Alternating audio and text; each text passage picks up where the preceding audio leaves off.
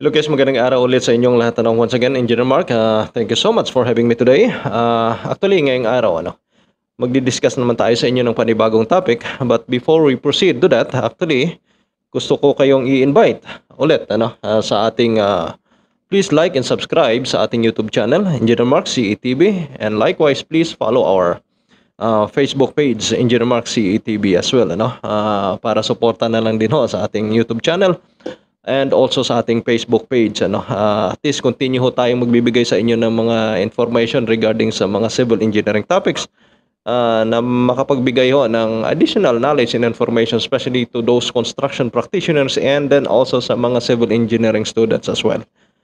Ah, so far for now, actually yung ah, information na ibigay natin sa inyo actually is related na naman sa mga traffic ah, gantries or sa mga structural gantries ano? Ah, kung ano yung mga function nito. Actually i-tour namin kayo ano? Ah, i-show natin sa inyo kung ano ho ba yung process ah, ng mga structural gantries paano ito i-fabricate and then at the same time i-erect ito sa ah, mga roads and highways ano? Ah, sa iba ho ah, first time ito yung term na mga gantries actually. Ah, kung makikita nyo sa mga national highways ano may makikita kayo diyan ng mga massive na structures ano na mayroong mga billboards, mga mga directional signages, may mga informative sign or yun yung mga tinatawag also na mga DMS or uh, digital messaging system na makikita nyo sa mga interstates or mga national highways ng mga bansa ano.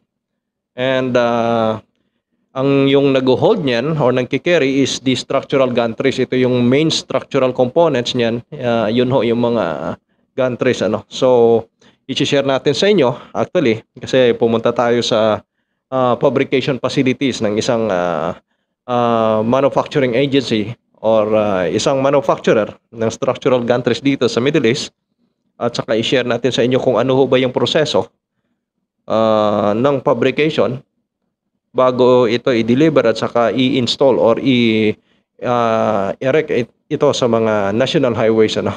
So mayroon ho tayong ah, videos para ho ah, mayroon ho kayong ideas and overviews kung paano ho pinafabricate yung mga structural gantries ng mga manufacturer nito ano. Watch this guys.